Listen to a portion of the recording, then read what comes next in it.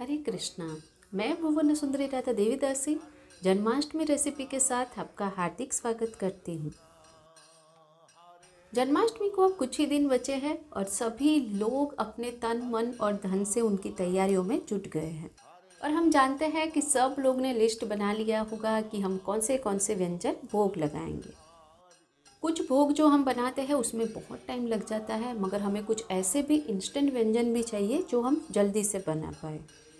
उसी को नज़र रखते हुए जन्माष्टमी के त्यौहार पर आज हम बनाने जा रहे हैं कलाकंद, जो बनाना बहुत ही आसान है और डिलीशियस भी है। इसमें हमें ज़्यादा इंग्रेडिएंट्स की ज़रूरत नहीं है, सिर्फ़ तीन इंग्रेडिएंट्स से ही हम इसे बनाएँगे और सब रेडी है तो जस्ट पंद्रह मिनट में बन जाएगी।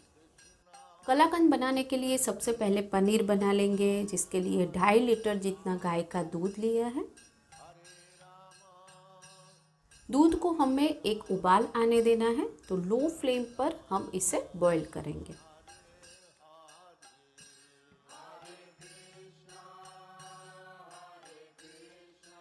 दूध को बिच बिच में चलाते रहना है। और दूध को फाड़ने के लिए यहाँ पर हमने लिया है पाँच टेबलस्पून जितना नींबू का रस, और उसमें हम मिलाएँगे आधा कप जितना पानी। मिक्स कर लेंगे और इसे यूज़ करेंगे।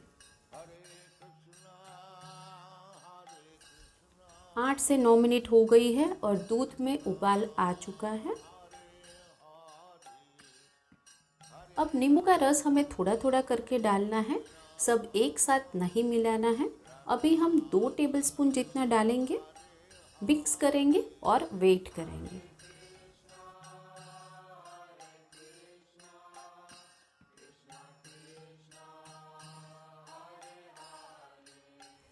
दो टेबलस्पून जितना डालेंगे और मिक्स करके उसे चेक करते रहेंगे।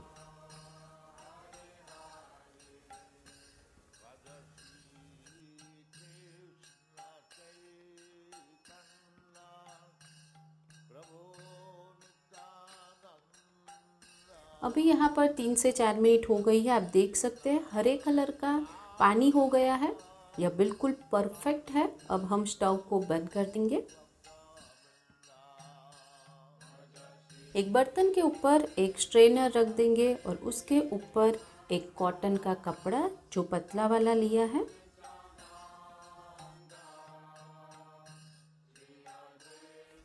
और पनीर को हमें छान लेना है इस तरह से। पनीर परफेक्ट बनना बहुत ज़रूरी है तो वह खास ध्यान रखना है। अब पानी की मदद से पनीर को अच्छे से हमें धो लेना है ताकि उसमें जो खट्टापन है वह पूरा निकल जाएगा।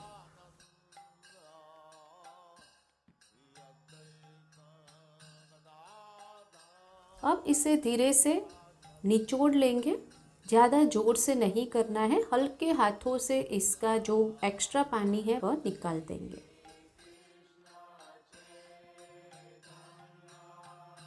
अब इस तरह से स्ट्रेनर पर एक घंटे के लिए छोड़ देंगे। एक घंटा हो चुका है। आप इसका टेक्सचर देख सकते हैं। बहुत ही बढ़िया पनीर बनकर तैयार हुआ है। इसे हम एक प्लेट में ट्रांसफ़र कर लेंगे। अब इसको हाथ से इस तरह से थोड़ा सा मसल देंगे ताकि जो बड़े बड़े चंक्स है, वह ना रहे और स्मूथ सा उसका टेक्सचर हो जाएगा। बिल्कुल इसी तरह से।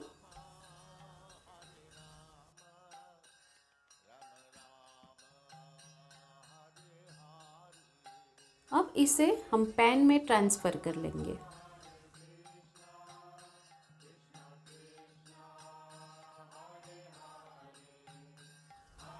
पैन में हमने ले लिया है, अभी स्टव को ऑन नहीं करना है। इसमें अब हम मिलाएँगे 400 ग्राम जितना कंडेंस मिल्क, जो मिल्क मेड आता है, वही मिलाना है। स्टव को बंद रखना है और दोनों चीज़ों को पहले हम अच्छे से मिक्स कर लेंगे। आप देख सकते इस तरह से हल्का सा प्रेस करते जाएँगे और इसे मिक्स करते जाएँगे।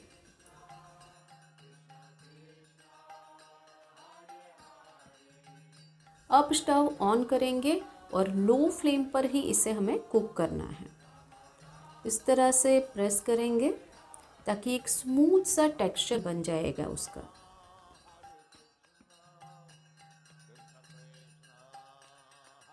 पाँच मिनट हो गई है, हमें इसी तरह से चलाते रहना है थोड़ी देर के लिए और पाँच मिनट के लिए कुक कर लेंगे।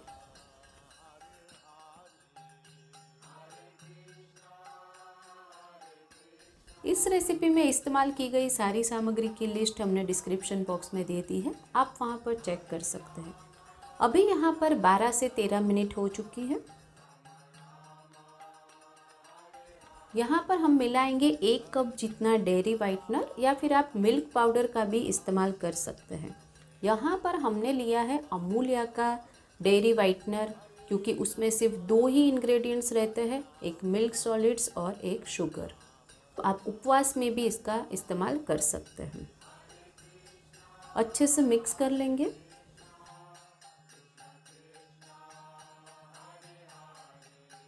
इसमें बिल्कुल भी लम्ब्स नहीं रहने चाहिए। लो फ्लेम पर ही मिक्स करना है हमें।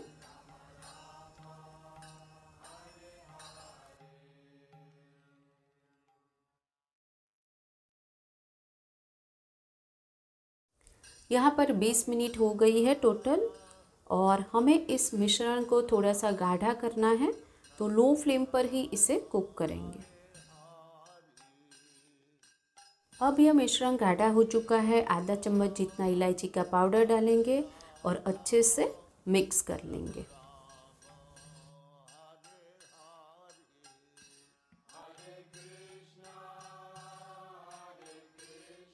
स्टोव को बंद कर लेंगे। यहाँ पर एक मोल्ड लिया है, उसमें एक बटर पेपर लगा देंगे और आधा चम्मच घी डालेंगे और चारों ओर से अच्छे से ग्रीस कर लेंगे।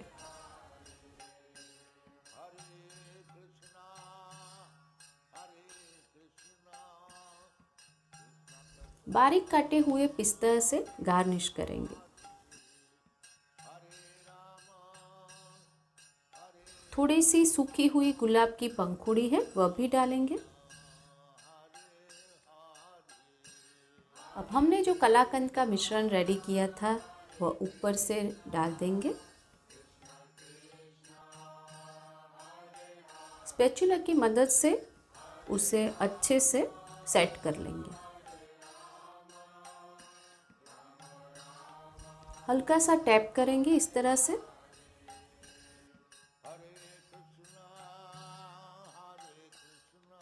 ग्रीस की हुई कटोरी से भी आप इसको स्मूथ कर सकते हैं। अब इसे दो घंटे के लिए रूम टेम्परेचर पर ठंडा कर लेंगे। दो घंटे हो गए हैं और अच्छे से सेट हो चुका है कलाकंद। चाकू की मदद से साइड में से स्क्रैप कर लेंगे इस तरह से। अगर आपके वहाँ गर्मी ज़्यादा है तो इसे दो घंटे की जगह पर तीन घंटे भी रखना पड़ सकता है। अनमोल्ड कर लेंगे।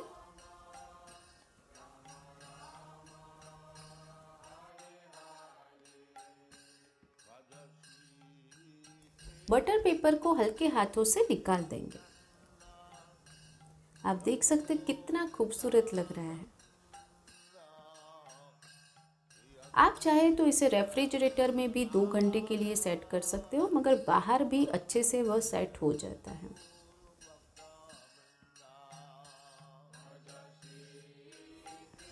हमारा कलाकंद बिल्कुल तैयार है, आप इसे देख सकते हैं।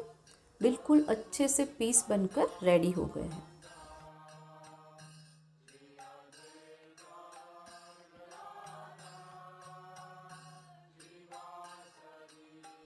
आप इसे दो दिन के लिए बाहर रूम टेम्परेचर पर रख सकते हैं और रेफ्रिजरेटर में वन वीक तक स्टोर कर सकते हैं।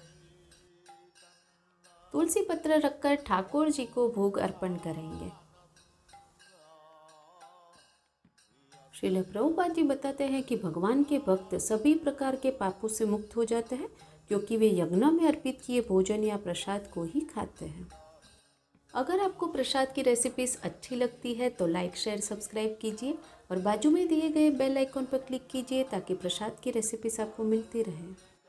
हमेशा जपिए हरे कृष्णा हरे कृष्णा, कृष्ण कृष्ण, हरे हरे। हरे राम हरे राम राम राम, हरे हरे।